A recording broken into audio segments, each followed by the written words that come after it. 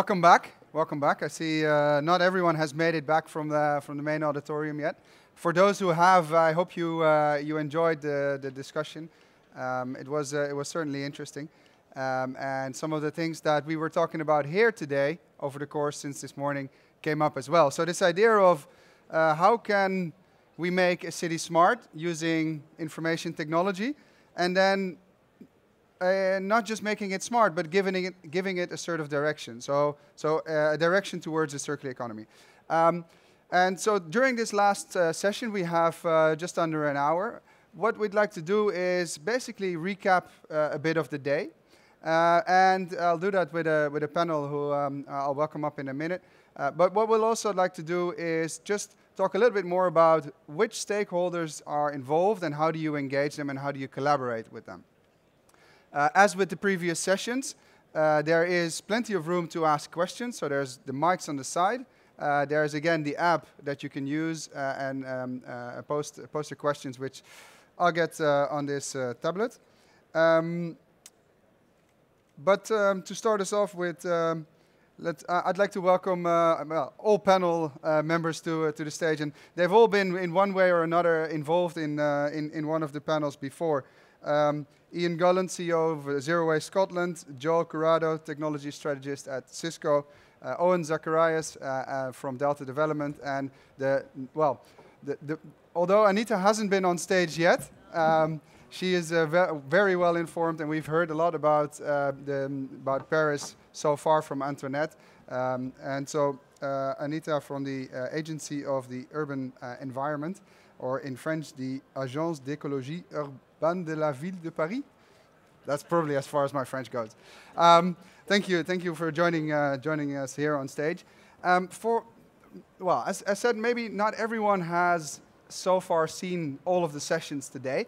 So to get us kind of started, I'd be keen to maybe from all of you get a bit of a, a brief recap on, on what did you see in uh, see coming out of, of, of either your, session or maybe a little bit broader of the day and um, let's start with you, Iain.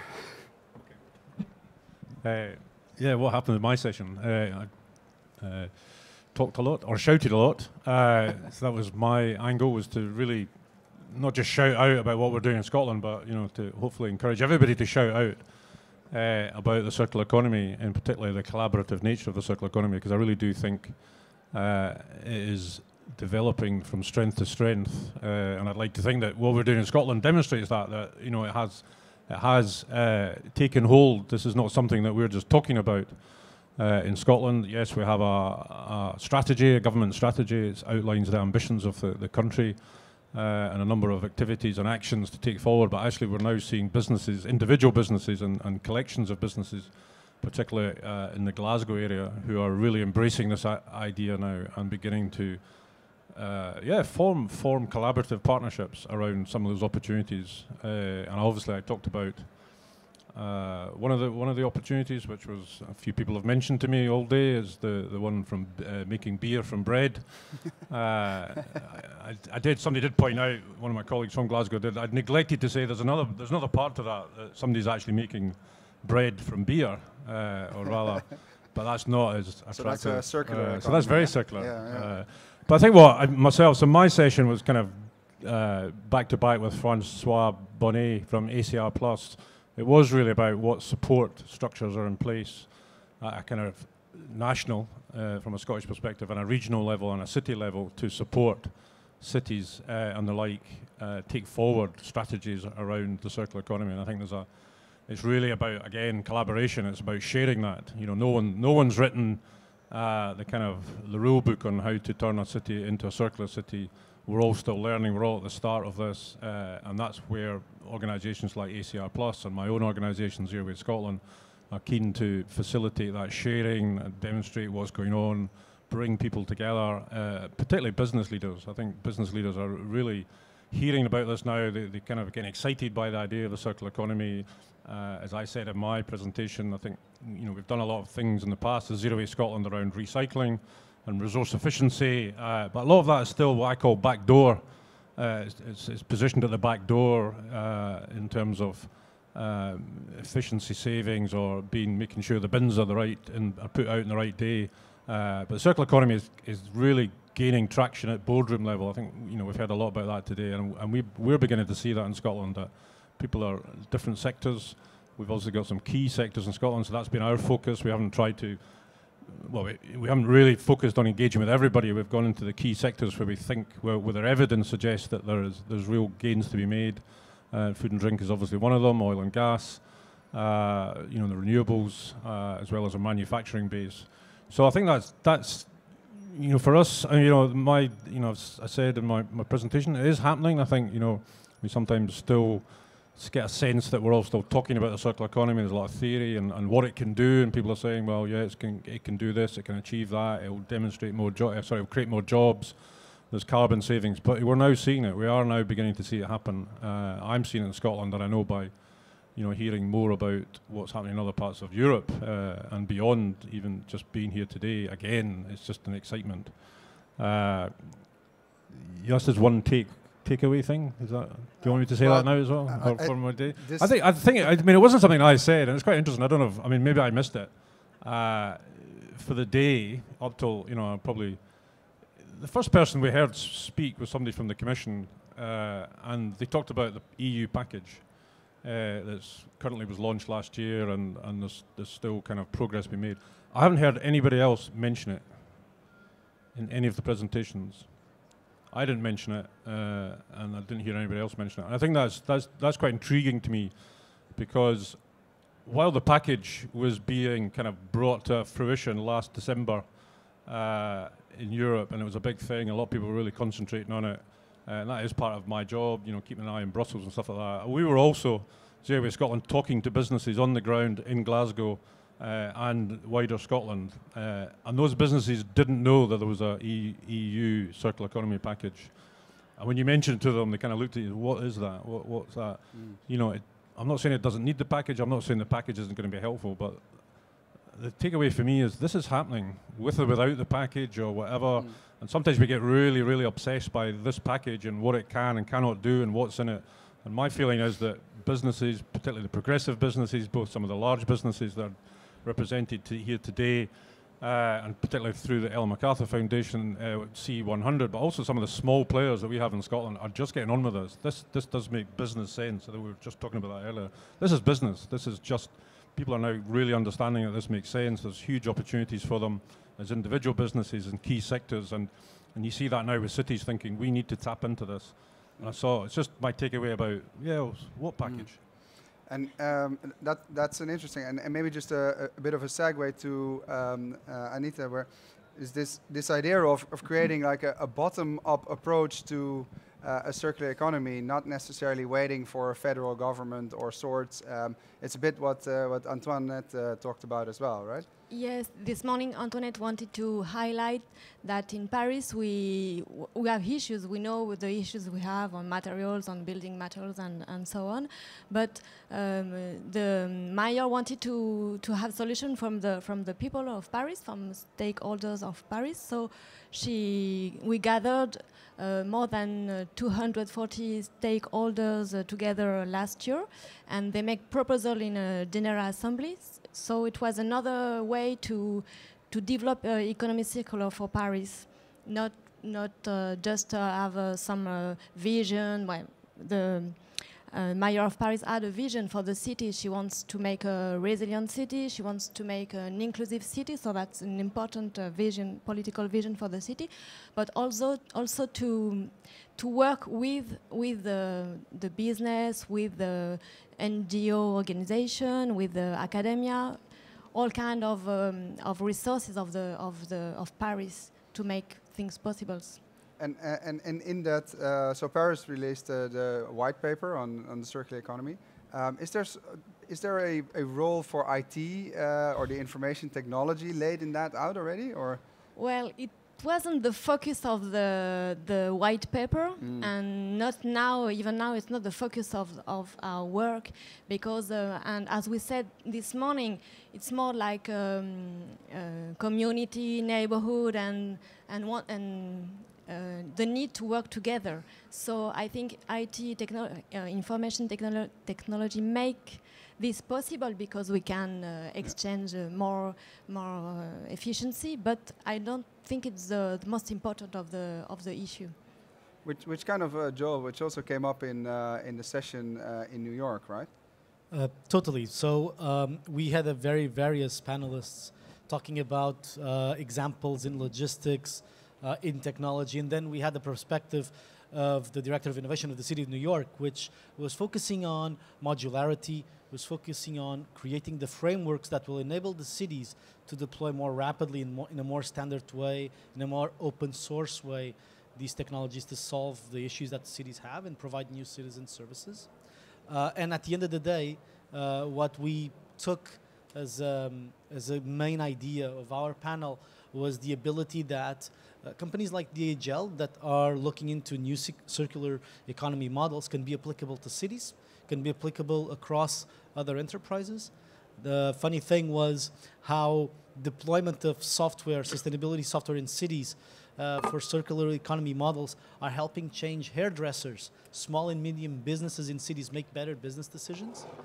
And uh, we also learned that DHL shouldn't charge all of their electric vehicles at the same time, because if they did, then the city would be dark, and everybody would be without any electricity.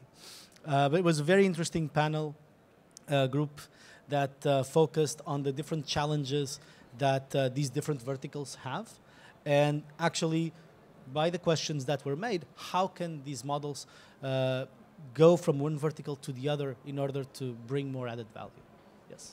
And um, sort of um, uh, bringing that to the design of, of, of a city, which uh, Owen, you talked a little bit about. Well, you haven't actually designed the whole city yet, but there's some plans with the valley. Give um, us a uh, few years. Give, maybe a few years. I mean, where you've gotten to in, in just the last couple of years. Um, could you maybe share a bit on, on what happened in the design panel and what you guys spoke about? Yeah, absolutely. It was a really exciting discussion this morning, and we had a nice mix between sort of macro and micro applications. We had designers, excuse me, focusing in on design related to human beings on sort of a micro, small startup and, and, and human scale. And then we moved all the way over to a city like uh, like Peterborough, who is a city that has really been engaging in the circular economy on a systemic level with a lot of its businesses. Then we also had what Delta was doing in sort of the creation of the bricks and the hardware and the software and all of this in order to, to put the assets in place that could then link on to promoting and enabling circularity.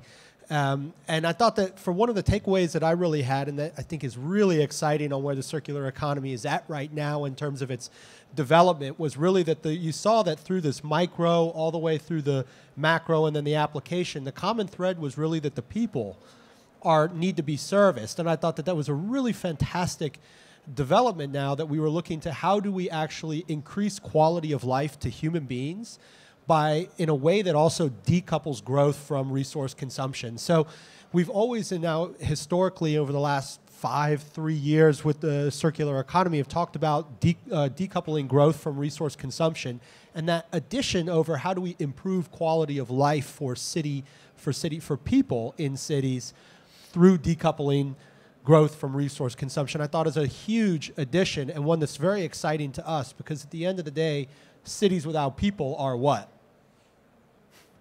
Right. So, Detroit, Chernobyl. Yeah.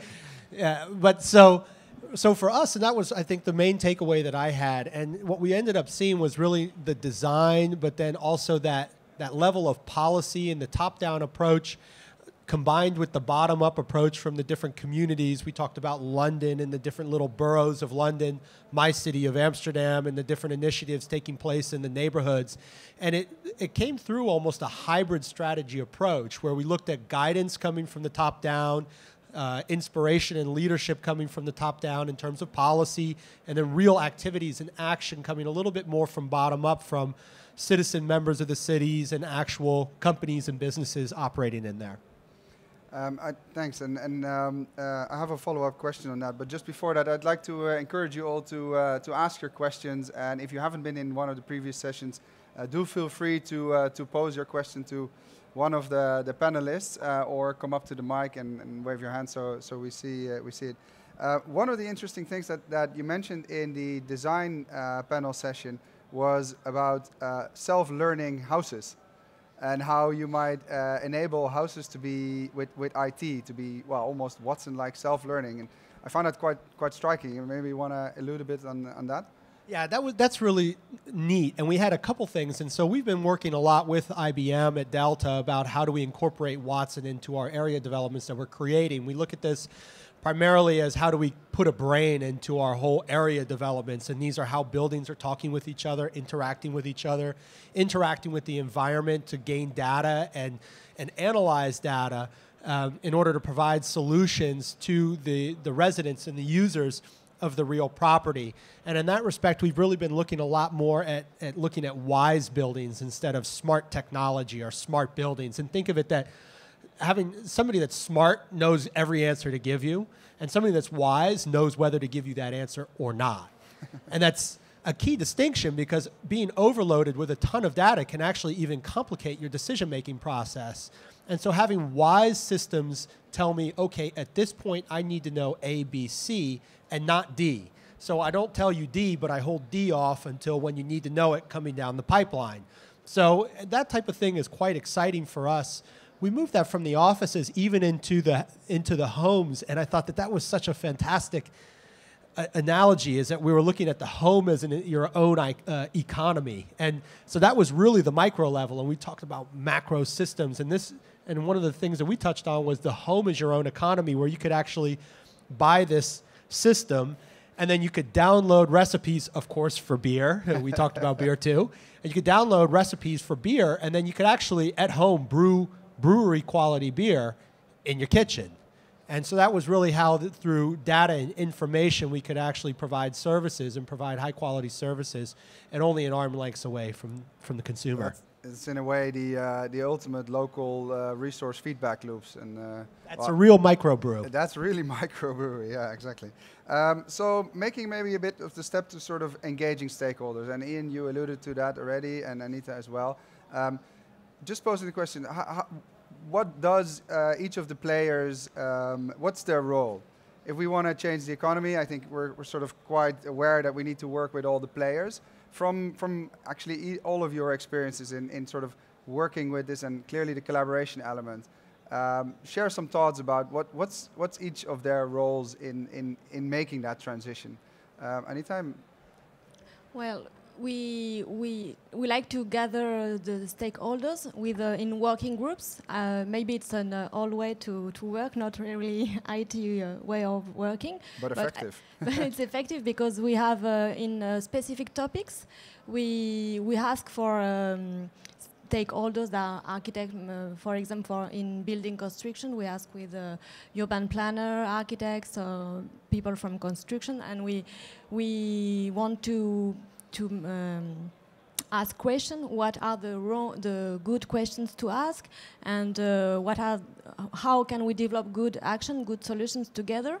And we can also um, uh, choose for one leader to make the action concrete. So it's one way we like to do. We during the general assembly we have uh, eight uh, working groups. We gather three times together to to make pr proposals and so we go on with this method on with our action plan, the 16 um, uh, action that uh, Antoinette uh, talked about this morning. So we go on with this method to decide how together we go we're going to lead and make possible these concrete actions. And also we, ha we have uh, called projects for, for project leaders. We provide uh, spaces for us. For for example, um, in the um, we have a, a call project. Uh, which is called metabolism, urban metabolism, and we ask a project leader to provide solution for us for the administration. For example, uh, one um, project leader uh, took our bio waste to make um, energy with bio waste, and now this uh, this small uh, enterprise, which is called Love Your Waste, mm -hmm. is gone is grows up. Um, uh, thanks to our project call and thanks to this exper experimentation for innovation. And also we provide, uh, we have another, um, another call project, Parisculteurs, which is a, um, a call project for urban agriculture. And we ask many uh, stakeholders of Paris to provide roof on the building, for example, and they can uh, the project leaders can propose how to make urban agriculture in Paris. So this is uh, one way to, to work with uh, stakeholders in Paris. And also we have uh, funding for developing projects for NGO uh, association. I think you mentioned a very uh, important stakeholder, which is the, the entrepreneurial activity and the innovation that comes from, from those small startups which do not have legacy decisions and assets to, uh, to, to work on. And, and Iain, you, in, in Scotland, um, you work as well with a lot of the SMEs make up such a big part of the of the economy, right? What's their role? What, yeah. How do you see the potential there? Yeah, and that's uh, it's just that term stakeholder. It's an awful term, isn't it? Oh, right. You know, okay, no, no, it's not. Yeah, it's, we all use it. It's a kind of like I, I never really thought, don't see myself as a stakeholder, but you know, uh, the, you know, my local government might see me as a stakeholder. Anyway, it's an odd thing. Uh, so getting everybody to round the table. I mean, in some ways, I always think it has been easier than you would imagine because all this idea of the circular economy, because it is about opportunity. There isn't a defined uh, methodology of what we're trying to actually achieve. Uh, you know, it's not a prescriptive thing. You're, you know, usually people like me come out and say, uh, the government's set a target, you have to achieve it, or uh, there's a new regulation coming in, how do I help you? And immediately everybody's on the back foot. Uh, the idea of the circular economy is you, you paint a, a very broad vision picture and with lots of opportunities and people start getting excited by it. So I think that helps bringing stakeholders to the table to have that conversation right from the householder or the consumer through community groups to, to through small businesses and big businesses. And I think entrepreneurs love that because they can see free space to, to the degree to actually explore and, and form new partnerships. So I, I, I think that, you know, if, as long as we ride that wave, so to speak, and not try and contain it, into here's the five things we think you could do in Glasgow or Aberdeen or Edinburgh. These are these are the ideas we have. Uh, so don't do that. So really go in there with a kind of blank piece of paper and and try and let people explore these opportunities. Uh, but SME is absolutely key to all of this, uh, and the entrepreneurs that I mean, and that is probably one of the challenging things because a lot of the people we are talking to, the team that I've got that are talking to in terms of business people, they're not on anybody's radar they're kind of startup companies or individuals with an idea. You know, so again, you, go out with your stakeholder list that you're going to have this forum or that forum or that sector, and you, you go to the usual suspects. But actually, a lot of those people are not the people for the reasons you've just said that they have some baggage with them, and, and that might be, you know, baggage that they don't want to change, but also that they're busy on other things at the moment, other business threats or business uh, constraints. And it's the other people who are not on your list that are possibly the most exciting. And uh, and it's how you engage with them, it's how you create a culture and a place for them to come and you know get involved in it. Uh, and I think that's going back to sorry to labour the point about Glasgow. I think that's where we as an as a national organisation really handed over that the reins to the Chamber of Commerce, the business people on the ground who had all of those connections and could create that safe space. That was that was new to us, uh, you know, but we really kind of decided that that was the way forward because they had all those connections. They knew how startups started in Glasgow. They knew how the relationship between academia and uh, you know the, the, businesses on the ground and the relationship with local authorities or the public sector and the you know the, the, the hospitals and you name it. They understood all those connections on a, almost on a personal level. We didn't, you know, and I think that's another bit of just facilitating that and providing the space so people can actually interact. I think there's, um, there's, there's an interesting point in that there's a role for big organizations to help these small guys scale, and we see it happening in a Circular Economy 100 uh, very often, where there's small startups, disruptive startups with an, an interesting idea or product or service that come in and then work together with a big corporate to, to scale those things. And, and Cisco does also quite a bit of those that scaling innovation, uh, right? Uh, exactly. We uh, created a network of innovation centers worldwide. We have several in Europe, from Paris to Berlin to London.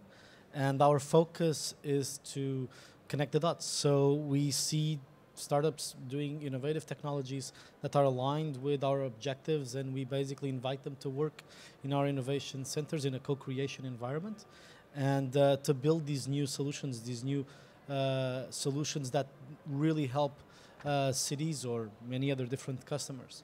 Uh, as an example here, for instance, in Barcelona, we uh, recently uh, developed in partnership with different startups a new solution for fog computing, for, for doing uh, computing on the edge, so that we could, from a circular economy perspective, optimize the network that already exists in the city of Barcelona by processing the data on the edge and sending the output to the data center in the central mainframe. So making it sure that we could build new services on top, new monetization strategies, and basically decentralize this network.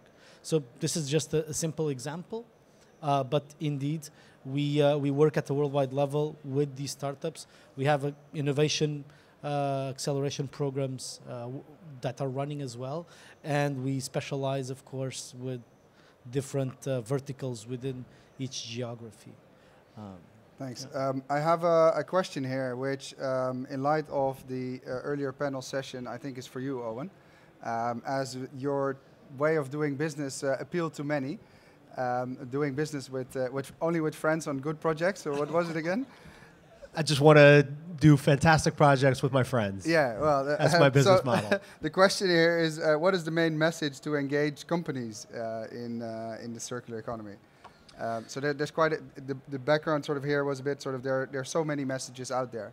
Um, is it is it back to the beer again or uh, no you know i think that i think that for when we start engaging with companies it's really what's your message. And so for us many times we get as a developer we get a, a request for proposal that gets sent to us from a real estate broker and that broker sits behind a client.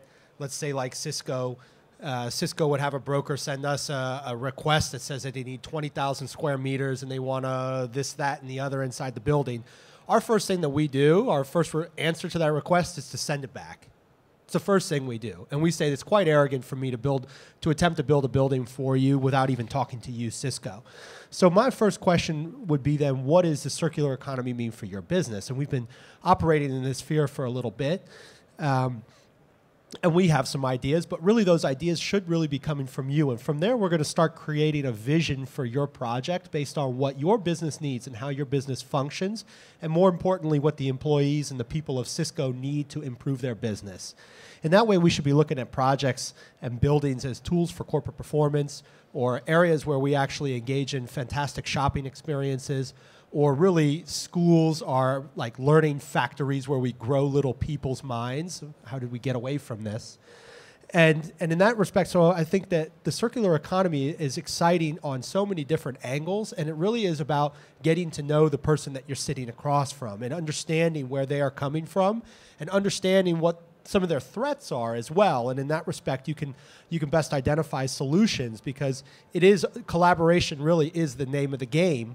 Um, the famous example that I use is how we ended up bringing our construction costs down by 19% was by actually working with our general contractor who has one of the most insane business models that I've ever seen. And this is just not my general contractor, but general contracting in general. It typically is that if you earn 2.5%, you're doing a fantastic job in the heart of the crisis over the last few years. Make that a, a percent and a half, and you're doing pretty well if something goes wrong, you're most likely on the hook for anywhere between 14 to 18 percent in failure costs. So the risk is 18 percent failure costs, and your potential revenues are about one and a half percent. So one of the first things we did was in, to engage with our our our supply chain and really the value chain was to say what's a good earnings model for you and of course they bumped that up a little bit and they said we need two and our reaction was okay you get three We'll guarantee you 3% of the earnings. And now what we've done is created a space for collaboration. And we said, but in return for that, I want open book calculation and I want to have a real discussion with all of our supply chain to make sure we get the best materials, these cradle to cradle certified materials that are built for the circular economy. And I want the highest quality in there. And the result of maximizing the quality, so we say, this is your budget for a solution, give me the highest quality, not this is the solution we need, give us the cheapest price. So we say we maximize the quality in that respect. And the next thing you do is you lower the, the failure costs because the higher quality and the good production, the lower the things go wrong, all things being equal. So that's the, that's the way that we've really engaged in that too. And engaging with collaboration in the supply chain is the only way that we can really make the circular economy work. We can't do this in a vacuum. Yeah. We can't do this on our own. And when people look at our products at the buildings, the sexy part is when the building's there and you get to go inside and it's really neat. But all the stuff that has to take place up front in talking about permits and zoning plans and that is stuff is where the real magic of these projects take place and working primarily with people like financiers of how do you finance this because that's where the real power is unlocked in getting that done the business case. And then when you organize all of these things and get everybody collaborating together and creating the space where I'm vulnerable enough to say that this is what makes me nervous then then we can all collectively share risks and share rewards in a place that makes the project perform in a fantastic place. And that's why I, want to do that with my friends. Because if I get there together with somebody that's not really open up for collaboration, I tell them I'm vulnerable, then I, what I've done is open my, I've led with the chin, and that's just being naive. but there, there's, a, there's an interesting point in that, right? Because you move more into sort of a, a collaborative approach. It doesn't remove competition from the field, but it does sort of change the, the way that you interact with your suppliers and your the, the, the, people you would make contracts with much more on a sort of a shared vision approach as opposed to a transactional kind of cost-oriented uh, focus, and, you, and thereby bringing the people that would be normally all the way at the end of the, the supply chain to the table at, and in the very first go, right? Absolutely, and you know, and that's also for us. That's the basis. That's the heart and soul of our of our Delta innovation platform. We are rolling percentages of our revenues back into an innovation platform that we've created at Delta. And our projects, these are project based focuses. So everything needs to be applied within the projects. And the focus is, is that they improve the performance of the buildings and improve our our revenue model, our margins. So that creates more earnings, that creates better returns, and those returns or the percentages are then rolled back into R&D, and that's how we create this flywheel to improve our innovation. But we are process people, that is really what we do very, very well as real estate developers. The people from Philips know lighting like I will never know. So the real innovation and solutions is deep in your supply chain. But the way we've always organized everything right now is to keep everybody separate from each other, is to keep them not talking with each other so that we can play this zero sum game based on power and based on timing, hold everything off to the last moment, in order to create some kind of little buffer and percentage of a half a percent in purchasing. And, in, and what that does is that actually sucks the innovation out of your project. It seeps all of the returns and the collaborative forces, and it makes things extremely ineffective and inefficient in the production process. So by really getting down and sitting together, and we have our financiers at the table, we've got our construction guys, the engineers, we have people from pension funds that might even be part of the exit, all around that central conversation. That's how we really understand okay, you need that, you need that, you need that, I need this, let's get to work. And there's, a, there, there's an interesting uh, part in that, which is we, I mean, uh, we spend our time at the foundation looking at this uh, quite intensely, and I would say even even we would only have an idea of maybe 10% of it. I think Ellen would actually say that we know less of the circular economy yet, so it's kind of unfolding. So as it unfolds, we kind of need to prototype our way towards uh, towards a circular economy. And um, uh, another question came in, which, which kind of sort of links to that, which is this idea of um, what we see working very well within the programs that we run in the governments and cities program and so forth is this idea of best practice sharing. And so uh, a question is, so how do we encourage cities to lead by example? And are there some, some uh, uh, best practices that you could say, well, from this kind of prototyping, what could you recommend other cities to do from where you've gotten to uh, so far? A method to, to gather stakeholders or as uh, concrete actions? Well, setting up an, uh, a white paper on the circular economy strategy is, is, is not uh, something small. So is there sort of a best practice that you can share? Say, well, definitely do that, but don't do that.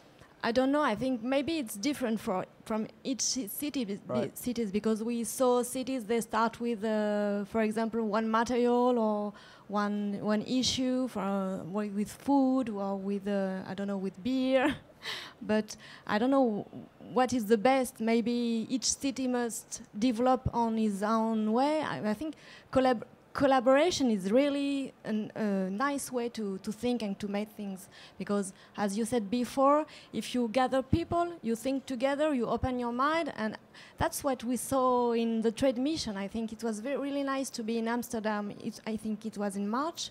So I don't know how many people from 23 countries, or I don't know how many countries were represented on this mm. trade mission, but we share moments, we share experience, and I think this collaboration is really important. So for cities, maybe it's the most important to be open mind to see okay, what is important for our city, what is our vision, how we want to lead it, and to, um, and to permit uh, all the business, the NGO of, of the city to, to have a, a place and a chance to express the, um, the project they want to lead for the country. I think this is really important.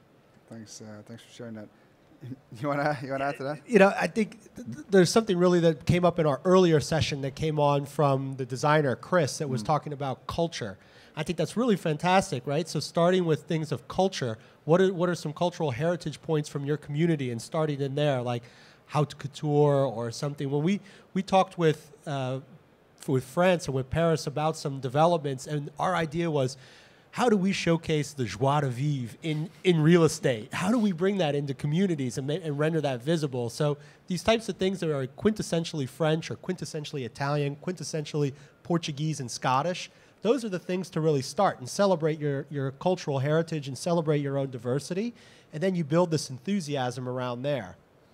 We're Dutch, so it's probably beer.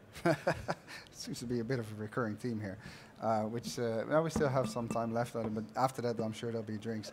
Um, so uh, coming coming back, the, the other part of this question was around procurement, uh, which is uh, something that uh, you, you put a stake in the ground for, Iain. Is there something you could say? Well, how, how could we? What could we do in circular procurement? And uh, maybe just also uh, allude because we often hear from from businesses saying, "Well, yeah, if if just governments would procure in a in a in a circular way, then then the world will change," which is maybe just a bit too easy, I suppose.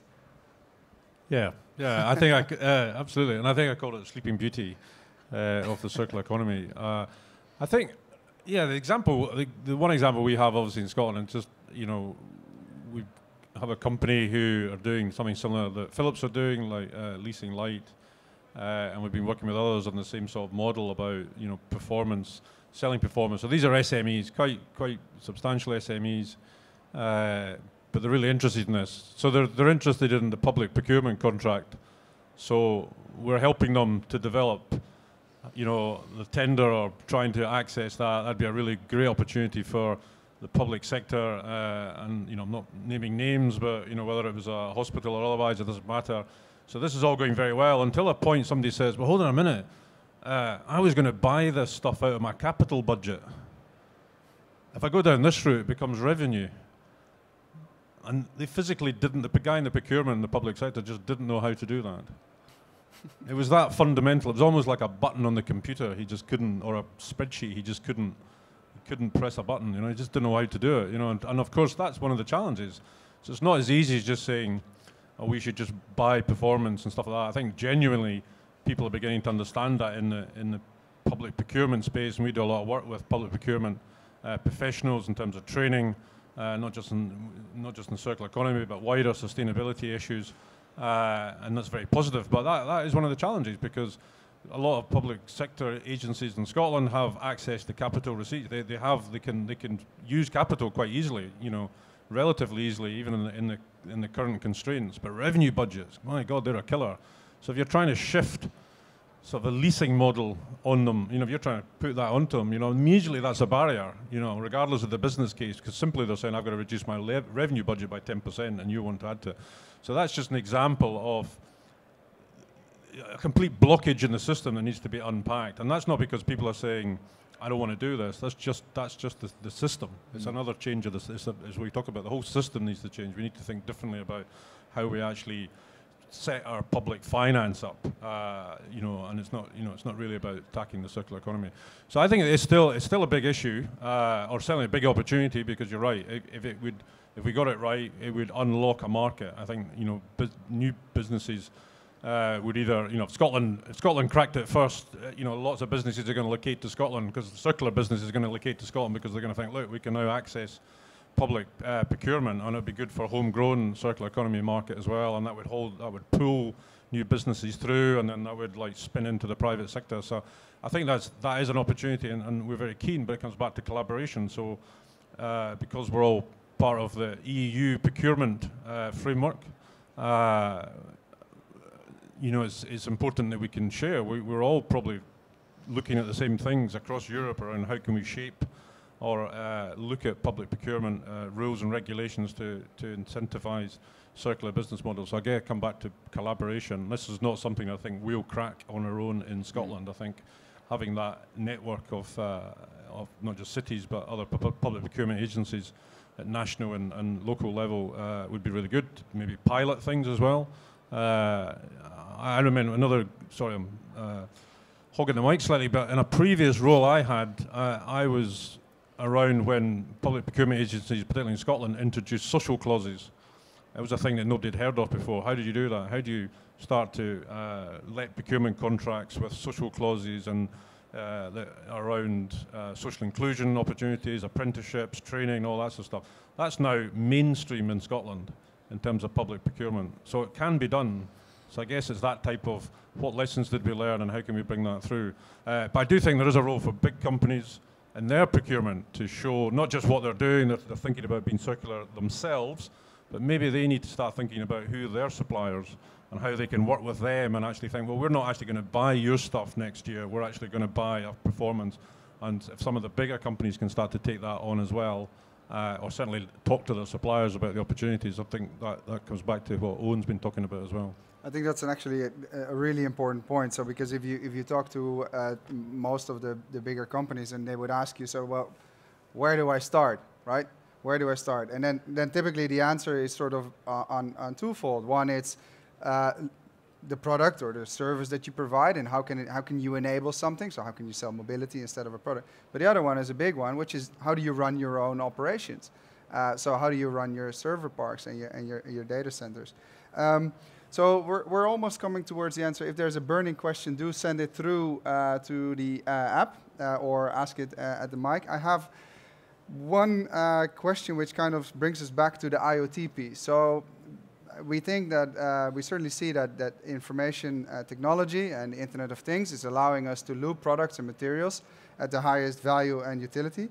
Uh, but a very valid question is um, how do we ensure that these products and materials that are, we are looping are actually restorative and regenerative by design so that we're not uh, perfectly looping something bad?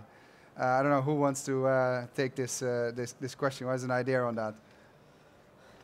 Well, um, Cisco tries to get certification in place for you know from batteries to all the components that we we uh, procure. Uh, we work closely with our suppliers to make sure that they are strict in terms of regulations, so that from circular economy perspective, we we get uh, products that on one side have quality, but on the other side, they they follow international standards. Okay. Uh, and then, of course, we, we also have, from a life cycle perspective, we also uh, do our best to capture the equipment that's on the market and recycle it uh, to the best of our capabilities to make sure that the, uh, the equipment has a, a proper end. Uh, from an IoT standpoint, I think that by using tools, and Owen here mentioned uh, Watson, uh, if we use artificial intelligence or other machine learning uh, capabilities, engines, that can help us define those models, I think that will be very interesting. As a rapid example, Google published uh, one or two weeks ago um, a study they did. They, they created three uh, independent uh, AI engines, and uh, the rules were basic. One had to send a message to the other, and the third had to intercept the message, so break it. So from nothing, from these two functions I just described, the artificial intelligence engines created a crypto cryptography uh, design to prevent the third one from capturing the message from scratch. And even the Google engineers didn't know how they did that. Okay, so from as scary as it might seem, Yeah. um, Gotta the applied to, cir- to circular economy, it can prove very interesting. It could it could solve some of the challenge we don't uh, we don't even dare to uh, to tackle right now. Uh, buildings have been. For what, what's the leasing period that you'd say typically is looked at after for a building? for buildings. Now we're looking right now, and, and we're we're engaging in about ten year leases. We've done some for fifteen. We've done some for twenty. Um, we're looking at use periods of these buildings for now about fifty to sixty years. I think that that's a pretty much more realistic time frame. And in, in all reality, actually, we're already seeing buildings in the 90s in The Hague and other fantastic A1 locations being irrelevant now. So, you know, how, how long these assets are actually in play is becoming much, much shorter and shorter. So, If- so if- how do you ensure that they are full of healthy materials? so well, you know. I think that that's that's an interesting thing, and and the real question. This is, I think, the heart of really the discussion that a lot of us should be having with each other when we're engaging in in collaborative businesses, is what is the real value set that is going into making our decisions, and I don't mean value set from where's my value. I mean what are my values as a society. And I think you could create the most elegant business model or the most elegant algorithm. And I was always taught that garbage in is garbage out, gigo. So if we're not putting the right thing in, then expect the wrong thing to come out at the other end. And our value set, our intentions need to really be driving this. So this is really about the decisions that we make are what do we want to achieve and what is the right thing to do, not always the easiest thing to do or the thing that we're doing right now. So, in that respect, I think um, a, a good example is we had a, a company come to us and they wanted to create this circular economy measurer. How, how circular are you? And that seems to be a pervasive question that a lot of people are trying to answer these days. And we started saying, okay, so you're going to measure all of how circular our buildings are and all of that. What is your criteria on what you're measuring? And they said, virgin material. How do I eliminate virgin material out of this? And we said, okay, so if I put together toxic soft PVC and and take it from out of an old building and put it together in a third world ship it to a third world country and put it together with child labor, ship it all the way back to Holland and put it back in my building, that's circular. And they were like, "Oh, well, maybe you got a point there." So it's much more about than just removing materials. It's about the the type of actions that we're doing, and this is why I think that cradle to cradle is a fantastic design paradigm for the circular economy because we're talking about being positive in our social in our social activities. We're being positive in our environmental activities, and we're being positive in our economic activities. And so for us, this is really the design paradigm that enables our buildings to be well positioned for this growing and, and very real circular economy. It's having this uh, shared uh, vision of a restorative and regenerative system on the horizon and, um, uh, and, and working our way towards that. Um, so maybe just on the, on the final part of, uh, of the panel, um, as we've come to end of the first day of the Smart Cities Conference, uh, we've heard uh, many interesting things and I've wrote, written down a couple of them already. But maybe just from each, each one of you, what was the, the, the, your main learning as, as well, experts in the circular economy, at least deeply involved in it already? What was, what, what was your takeaway from, from today? Something new that you learned? Oh, something new. Okay. uh, something about we all like beer. Uh, well, actually, I get it. I mean, uh, Owen's here, flatter him. I, I just, I, I think there was a slide, a couple of slides you put up, uh, talked about the, the value of the copper that's in your building, or the, you know, the, the potential value of the copper that's in your building when you put it in is now, I can't remember the exact numbers, but it's about eight or ten times more now because the price of copper has gone up, and you said the same for steel and the same. It's just if you start to actually get people to think that you know you put all that metal or resources into your building, and actually it's going up in value. I know it's not easy to that, but if you actually design it so you could get that stuff out, then that's that is an investment, and I think that's just that that slide was just fantastic. certain enterprise companies like DHL shared today that uh, when they detected issues like how can I build a, a vehicle to improve my uh, delivery system, uh, they found that no one could produce the car for them. So they took on their bold task of building the car themselves. So sometimes it's not others that we need to outsource the equipment, but because we are the experts and we live on the day-to-day basis the issues and the problems, we need to fix it. So from, from a circular economy perspective, they looked at the business model and they said, how can we solve our own problem? So they built the car fleet uh, uh, as an example uh, to improve their system. Uh, I think that's a very good uh, point. And the beer and the bread, yes. I, I just want to rehash and reiterate that for me, the main takeaway that I've really been seeing, and Casper, we've known each other for years now, and we've been three years in the CE 100, and we've really been uh, very ta- talking a lot. I see a lot, a lot of other CE 100 and other circular economy experts here as well. And for a long time, we've been talking about the physical things, the bricks and the mortar, or the fast moving consumer goods, the packaging. And that now that this discussion is evolving into a world that includes the people, lo and behold that for me is very, very exciting because that was really where we should be um, doing setting it up. We should be that's where, really where we see a lot of the value being driven in in not in looking at the interactions between our activities and actions and circular economic models and their influences on the people and vice versa. That's something that I'm very excited to see taking place. Well, today I learned that even in bigger cities, we must uh, work with interconnected villages. So I think it was a very good word that we heard this morning.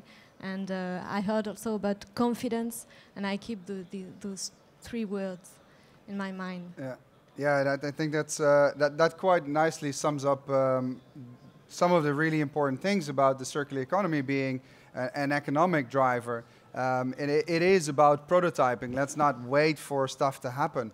It's about uh, from a design thinking perspective, building in empathy. So knowing where you're designing for. Uh, and uh, we start small and we scale it and we, we, we piece together the parts. Um, so I'd like to thank uh, the panel for, uh, for some excellent reflections.